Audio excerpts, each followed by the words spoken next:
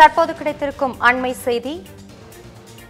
Sterlite வன்முறை தொடர்பாக குற்றம் சாட்டப்பட்ட வருவாய்த்துறை அலுவலருக்கு பதவி உயர்வு வழங்கப்படவில்லை என குறிப்பிடப்பட்டிருக்கிறது.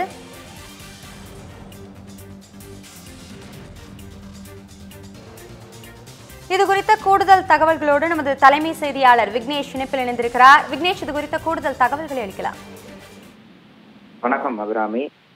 தூத்துக்குடி ஸ்டெர்லைட் வன்முறை தொடர்பாக குற்றம் குற்றம் சாட்டப்பட்ட வருவாய்த்துறை அலுவலருக்கு பதவி உயர்வு வழங்கப்படவில்லை என தூத்துக்குடி மாவட்ட ஆட்சியர் இளம்பகவத் விளக்க அறிக்கை ஒன்றை வெளியிட்டிருக்கிறார்.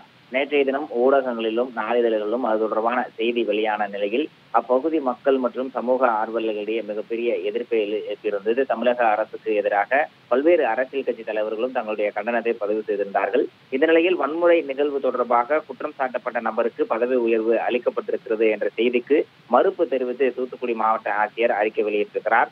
தூத்துக்குடி மாவட்டத்தில் பணியாற்றக்கூடிய இருபது துணை வட்டாட்சியர்களுக்கு கடந்த ஆறாம் தேதி அன்று வட்டாட்சியராக பதவி உயர்வு அளிக்கப்பட்டிருப்பதாகவும் இதில் தூத்துக்குடி ஸ்டெர்லைட் ஆலைக்கு எதிரான போராட்டத்தில் ஈடுபட்டவர்கள் மீது துப்பாக்கிச் சூடு நடத்துவதற்காக உத்தரவிட்டதாக குற்றம் சாட்டப்பட்டிருக்கக்கூடிய வருவாய்த்துறை அலுவலர்களில் ஒருவருக்கு வட்டாட்சியராக பதவி உயர்வு வழங்கப்பட்டிருப்பதாக செய்தி வெளியாகியிருப்பது உண்மைக்கு புறம்பானது எனவும் தூத்துக்குடி மாவட்ட ஆட்சியர் விளக்கம் அளித்திருக்கிறார்.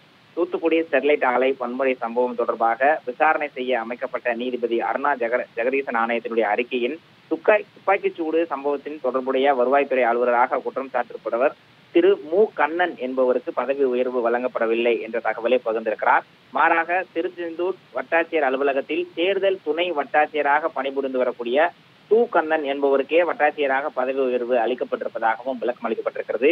பதவி உயர்வு அளிக்கப்பட்டிருக்கக்கூடிய து கண்ணன் என்பவருக்கும் துப்பாக்கிச் சூடு சம்பவத்திற்கும் எந்த விதமான தொடர்பும் இல்லை என்ற விளக்கத்தையும் தூத்துக்குடி மாவட்ட ஆட்சியர் இளம் பகவத் தன்னுடைய அறிக்கையின் மூலமாக விளக்கமாக குறிப்பிட்டிருக்கிறார்